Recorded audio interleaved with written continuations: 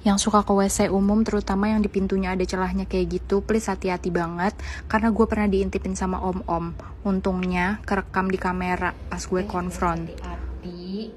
Soalnya kenapa ya? Nih om-om tuh selalu udah kayak nunggu di depan gitu. Jadi kalian hati-hati ya kalau misalkan mau pipis di toilet umum. Ini gue Ayo. coba konfront dia ngintipin saya terus ya Hah? Ngintipin saya terus ya. Terus dia langsung lari salting gitu. Salting kan? Salting kan?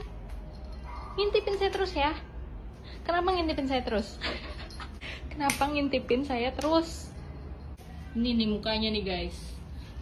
Mukanya nih guys. Yang suka ngintipin saya ini om om ini dilihat ya. Tuh dia jenggotan. Nih hati-hati ya sama dia